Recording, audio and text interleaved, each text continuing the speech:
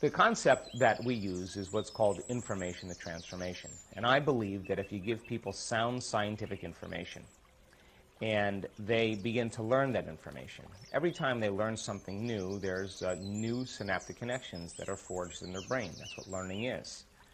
But if they don't repeat that information, if they don't review it, if they don't uh, think about it over and over again, the research shows that those circuits prune apart. So if learning is making new synaptic connections, then remembering or memories or maintaining those connections. So our model is have people retreat from their lives and change their personalities, change how they think, change how they act, and change how they feel, and that's their personality. And their personality is connected to their personal reality.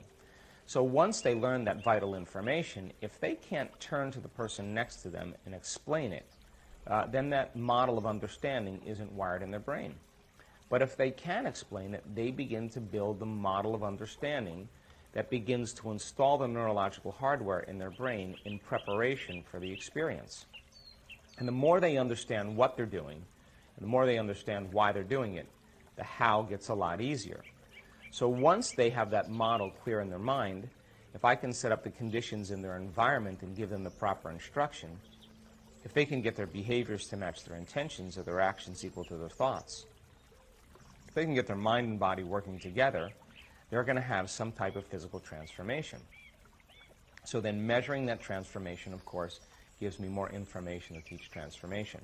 And that's the model that we use. And I now know that combining that clear intention, which is a function of brain coherence, so that they're focused on an idea, a concept, a potential reality combined with an elevated emotion, that elevated emotion takes them from the stress states of survival into a more elevated state. And now emotions no longer keep us connected to our past, but it's the very fuel that drives us to our future.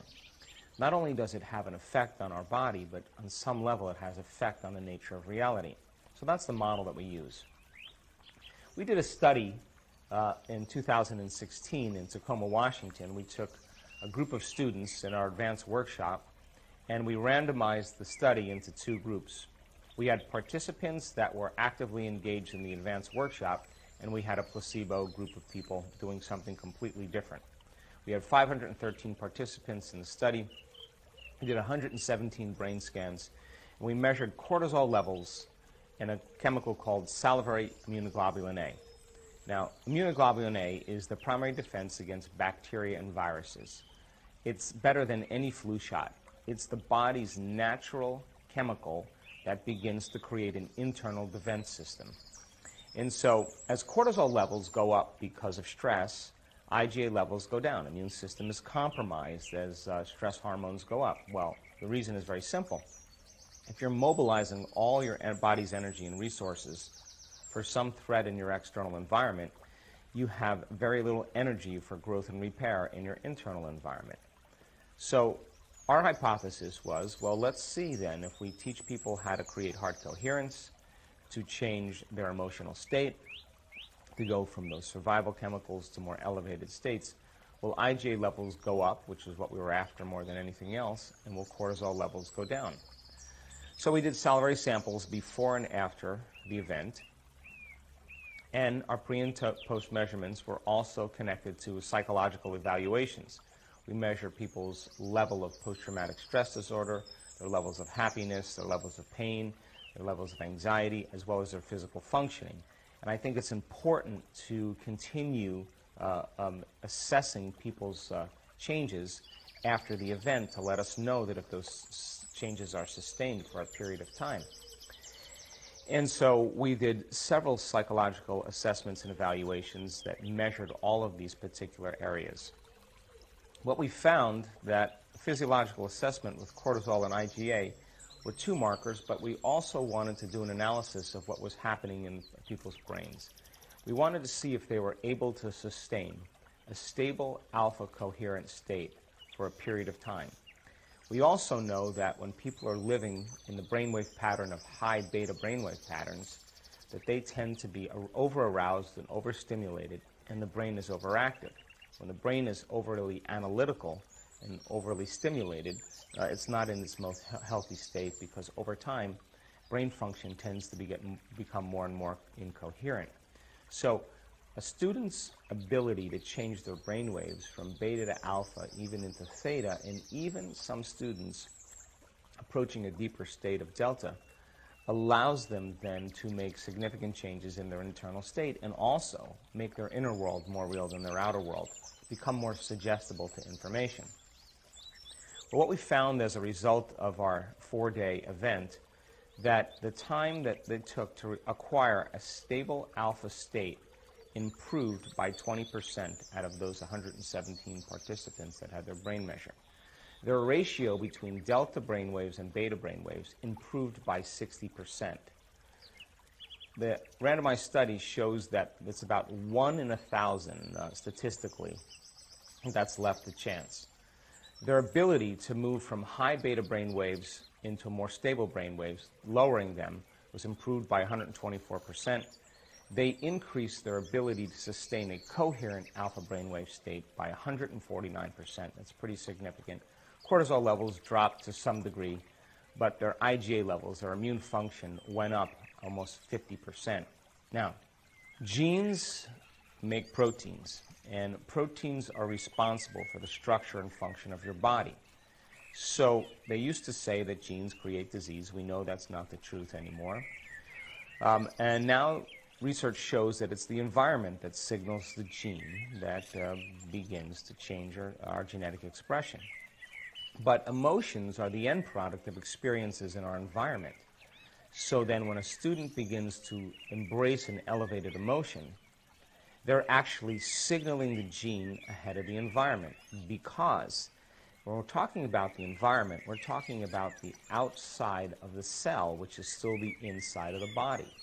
So when a person then begins to create an elevated state, their body, as the unconscious mind, is beginning to believe it's living in a new environmental condition because it does not know the difference between what's happening in their outer world and what's happening in their inner world. It's exactly the same.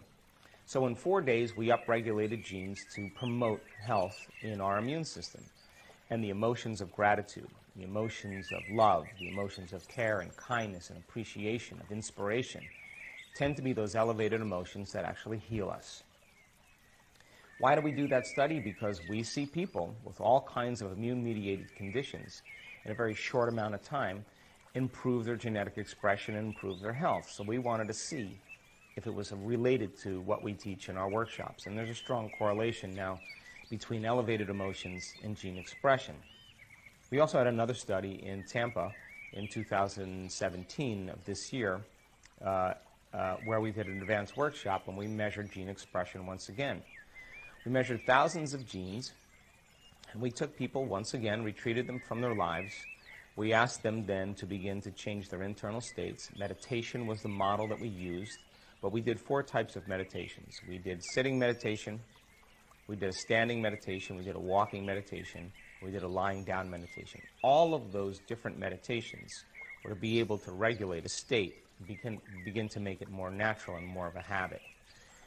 We found that in just four days, there was a significant change in gene expression, and eight genes were the most common amongst the, uh, uh, the group that we studied. One of the genes that was upregulated was for neurogenesis, not just for new synaptic connections, but the growth of new neurons in response to a novel experience and learning. So then our students then were able to actually make significant brain changes. Another gene for cellular, cellular repair was also activated. This particular gene activates stem cells to move to damaged tissues and aging tissues and help to regenerate them. A gene for oxidative balance, for free radical scavenging, of course, Oxidative balance has everything to do with anti-cancer, anti-aging, anti-heart disease, anti-stroke, anti-neurodegenerative, anti-inflammatory, antimicrobial.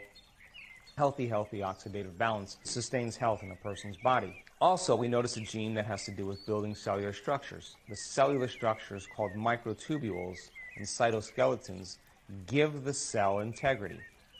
So as cells begin to repair, they need a scaffolding to repair onto. And the gene that actually creates uh, cellular structures uh, for healthy cells was also upregulated. We see a lot of times in a lot of our uh, students that cancer begins to change, their values begin to drop, their tumors begin to shrink. And we see in our work that the gene for suppressing cancer growth in tumors was also activated. These are the genes, specific genes, that were actually activated.